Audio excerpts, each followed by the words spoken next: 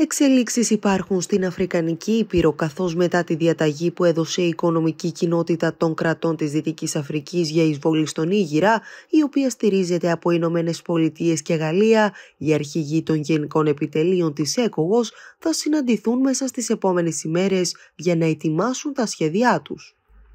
Αυτό δήλωσε ο εκπρόσωπος της Περιφερειακής Οργάνωσης την Παρασκευή. Συγκεκριμένα η ΕΚΟΓΟΣ αποφάσισε την Πέμπτη την ενεργοποίηση μιας δύναμης επιφυλακής, δύο εβδομάδες αφού μέλη των ενόπλων δυνάμεων ανέτρεψαν τον Μπαζούμ.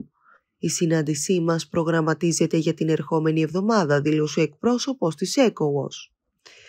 Νιγηριανός αξιωματούχος και στρατιωτική πηγή της ακτής Ελεφαντοστού δήλωσαν πως η συνάντηση θα πραγματοποιηθεί το Σάββατο στην Κάνα. Δεν είναι ακόμη σαφές πόσο μεγάλη θα είναι η δύναμη, πόσο χρόνο θα χρειαστεί για να συγκροτηθεί και αν πράγματι θα επέμβει. Ο πρόεδρος της ακτής Ελεφαντοστού, Αλασαν Ουταρά, τόνισε ότι θα συνεισφέρει ένα τάγμα 850 και 1.100 ανδρών για την επιχείρηση και ότι το Μπενίν, η Νιγηρία και άλλες χώρες θα συμμετάσχουν επίσης. Η Γαλλία δήλωσε ότι υποστηρίζει τις πρωτοβουλίες της ΕΚΟΟΣ. Οι Ηνωμένες Πολιτείες που επίσης εμπλέκονται στρατιωτικά σε αυτή τη χώρα δήλωσαν επίσης ότι υποστηρίζουν τις πρωτοβουλίες του Δυτικού Αφρικανικού Μπλοκ. Ταυτόχρονα χιλιάδες υποστηρικτές της νέας κυβέρνησης του Νίγηρα συγκεντρώθηκαν κοντά στη γαλλική στρατιωτική βάση στην Ιαμέη φωνάζοντας συνθήματα κατά της Γαλλίας.